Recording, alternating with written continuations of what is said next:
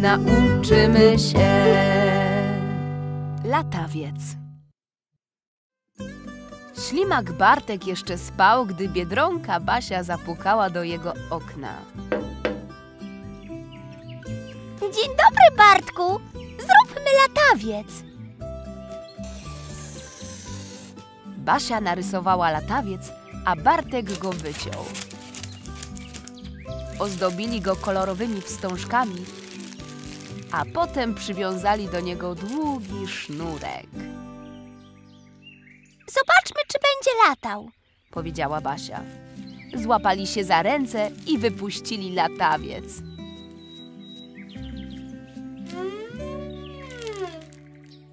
Ale nieważne jak bardzo się starali, latawiec nie chciał latać. Wejdę na drzewo i stamtąd wypuszczę latawiec. Może wtedy poleci. wytłumaczyła Basia. Ale latawiec kolejny raz spadł na ziemię. Nagle pojawił się silny wiatr. Poniósł latawiec wysoko, a razem z nim Basię. Bartek! Pomocy! Bartek wdrapał się na drzewo i złapał Basię za stopy. Ale nie mógł ściągnąć ją na dół, więc oboje latali. Obok przylatywał Baltazar. Złapał za nogi Bartka, ale i to nie zmusiło latawca do lądowania. Więc teraz cała trójka latała. Żuk Edek siedział na szczycie sosny. On złapał za nogi Baltazara, więc teraz cała czwórka latała. Laura! Pomóż nam! krzyczał Baltazar do konika polnego, który właśnie skakał w pobliżu. Laura złapała za nogi Edka i teraz latali w piątkę. Wiatr z każdą chwilą wiał coraz mocniej. W pobliżu przylatywała Matylda. Złapała za nogi Laurę i teraz latali w szóstkę. Chrząszcz Staś i Ważka Klara ze zgrozą patrzyli na przyjaciół.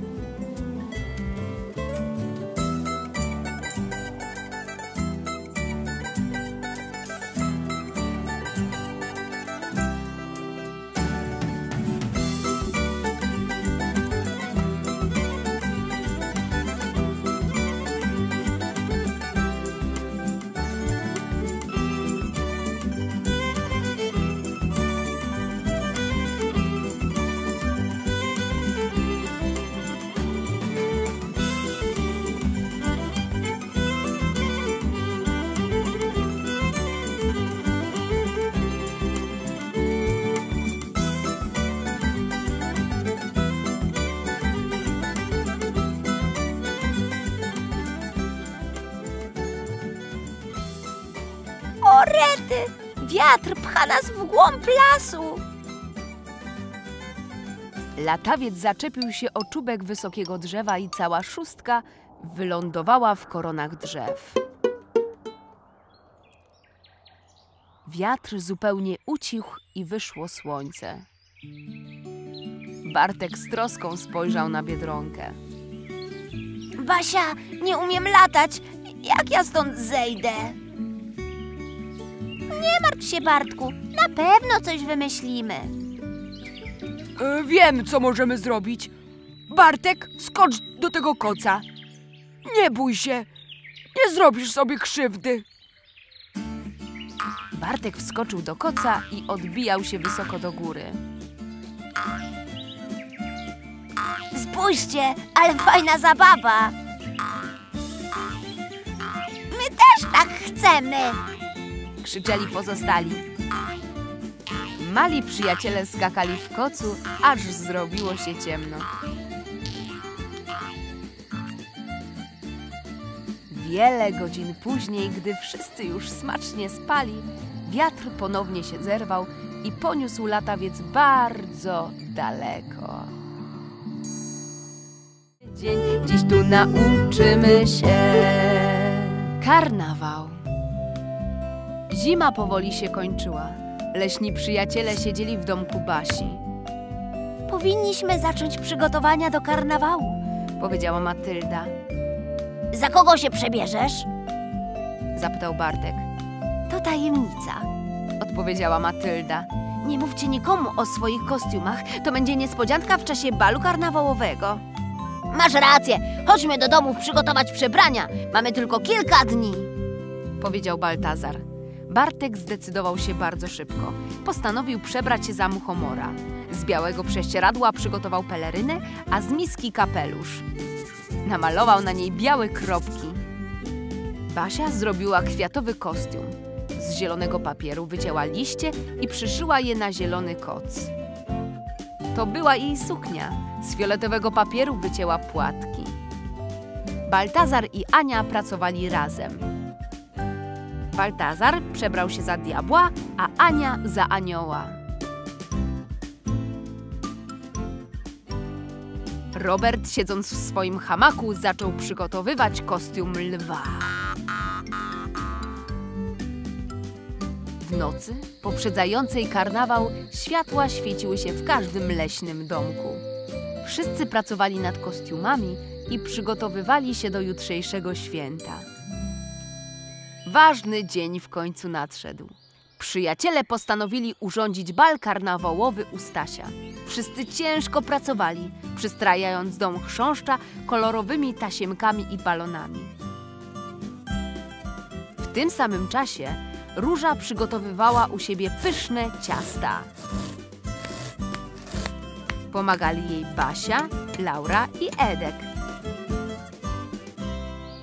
W końcu nadszedł czas na założenie kostiumów. Staś przebrał się za kość do gry i czekał na przyjaciół. Jako pierwsi przyszli Bartek i Basia. Ślimak przebrał się za muchomora, a Biedronka za kwiatek. Później przyszedł Baltazar w stroju diabła. Ania przebrana za anioła, a Matylda za kraba. Laura wyglądała jak kaktus. Robert przebrał się za lwa.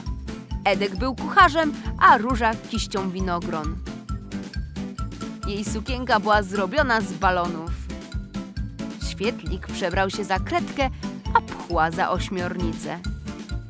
Szymon przebrał się za żołnierza, a jedna z mrówek była naleśnikiem.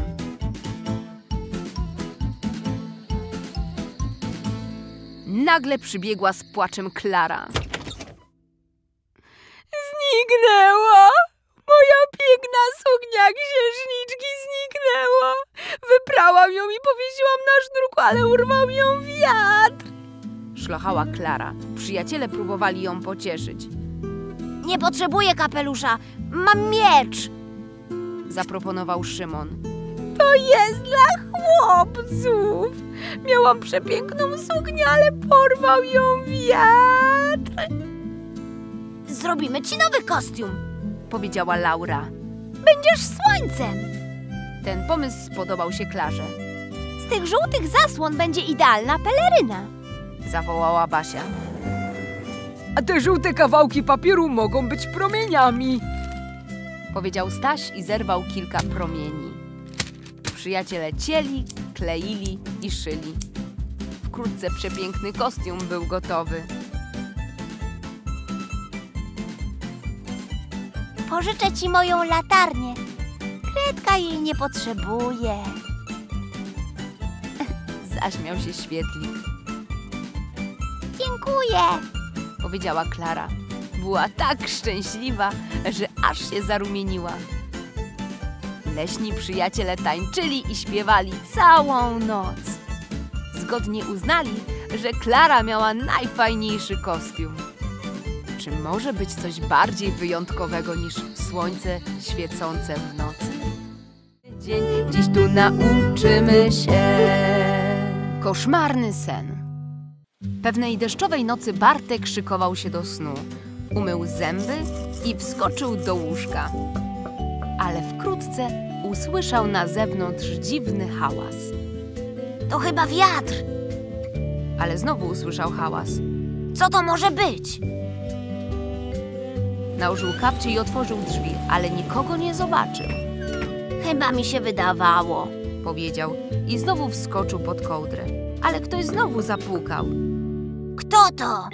Burknął Bartek. Otworzył drzwi i wyjrzał na zewnątrz. Gąsienico, wejdź do środka. Jesteś taka mała, że cię nie zauważyłem. Co się stało? Śnił mi się koszmar. Mogę zostać u ciebie? Powiedziała gąsienica. Oczywiście, że możesz. Bartek przygotował w pudełku łóżko dla gąsienicy. Proszę bardzo, możesz spać tutaj. A czym się przykryje?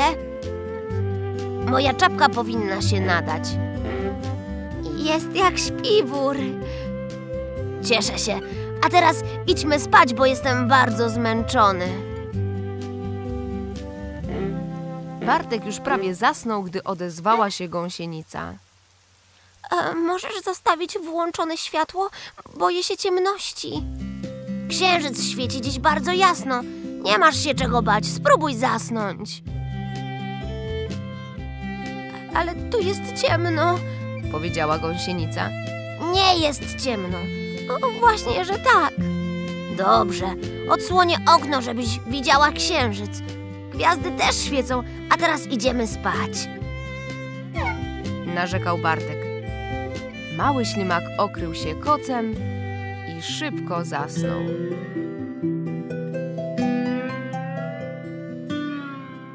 Ale zielona gąsienica znowu go obudziła. Chce mi się pić. To się napij. Krzyknął Bartek. Ale nie dosięgnę do szafki. Proszę, Bartek, pomóż mi. Dziękuję. Śpij dobrze. I tak by się stało, gdyby zielona gąsienica nie obudziła Bartka raz jeszcze. Jestem głodna. Jest za późno na jedzenie. Rano zjemy śniadanie. Ale ja jestem teraz głodna. Przez burzę nie zjadłam kolacji. Narzekała gąsienica. Dziękuję. Już nie będę ci przeszkadzać. Obiecała zielona gąsienica. Ale nie dotrzymała słowa. Bartek, nie mogę zasnąć, boję się. Powiedziała budząc małego ślimaka kolejny raz. Czego się boisz? Zapytał Bartek ziewając. Nie wiem, proszę opowiedz mi coś, co pozwoli mi zasnąć. Dobrze, opowiem. Teraz i tak nie zasnę. Bartek zaczął opowiadać historię. Mówił o tym, jak wiatr porwał latawiec, jak znaleźli kapelusz muchomora i jak doktor Sowa wyleczył jego bolące ucho. I co stonoga dostała pod choinkę. Ale gąsienica niewiele usłyszała, bo bardzo szybko zasnęła. Bartek wreszcie mógł odpocząć. Nim się obudzili, burza minęła i wyszło słońce. Widzisz ten obrazek? Czasami i mnie śnią się koszmary. Wtedy myślę o tej wróżce. Ona przegania wszystkie złe myśli i koszmary. Narysuję dla ciebie coś, co lubisz i będziesz to mogła przykleić nad swoim łóżkiem. Jeśli poczujesz się źle, będziesz mogła na to popatrzeć, a koszmary znikną. E, Słonko, narysuj dla mnie słonko. Bardzo je lubię, bo zawsze się uśmiecha. Jest bardzo ładne. Dziękuję. Powiedziała gąsienica. Przyklej rysunek nad swoim łóżkiem. powiedział Bartek. Gąsienica wzięła obrazek i z uśmiechem na ustach wróciła do domu.